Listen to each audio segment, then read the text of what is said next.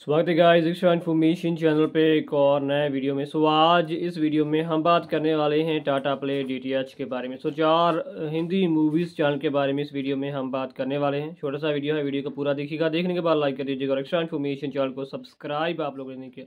Subscribe कर लीजिएगा ताकि आगे भी बहुत सारा अपडेट इन्फॉर्मेशन आप सभी के पास पहुँचता रहे और वीडियो को देखने के बाद वीडियो को शेयर भी कर दें ताकि सभी टाटा प्ले यूज़र्स के पास वीडियो पहुँच सके। सो गाइस जैसे कि आप लोगों को पता है, हमने भी कुछ समय पहले बताया था, कुछ दिन पहले, कि चार मूवीज़ चैनल जो है आप लोगों को टाटा प्ले पे देखने को मिलने वाले कौन कौन से चैनल्स हैं? पहले दो चैनल थे, जो थे वो गोल्ड माइंस नेटवर्क के थे गोल्ड माइन बॉलीवुड और गोल्ड माइन मूवीज़ और दूसरे दो चैनल शिमारो नेटवर्क के थे, जो शिमारो क्लासिक और शिमारो बॉलीवुड था।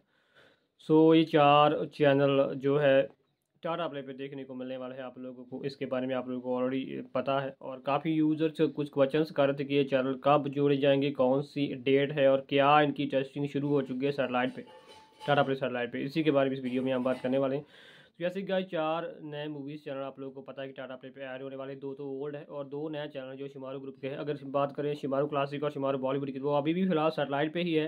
टेस्टिंग मोड पे है लेकिन अभी फ़िलहाल टाटा प्ले पे टेस्टिंग शुरू नहीं की गई है इन चैनल्स की ना गोल्ड माइन बॉलीवुड ना फिर गोल्ड माइन मूवीज़ की ना शुमारो क्लासिक और शिमारो बॉलीवुड इन, चारों में से कोई भी चैनल फ़िलहाल अभी टाटा प्ले टीपी पे शुरू नहीं किया गया है। आपको पता है जैसे कोई चैनल शुरू हो जाता है और उससे कुछ समय बाद ही उसको सेटअप बॉक्स में ऐड कर दिया जाता है लेकिन अभी फ़िलहाल उनकी टेस्टिंग शुरू नहीं हुई है टाटा प्ले टी पे।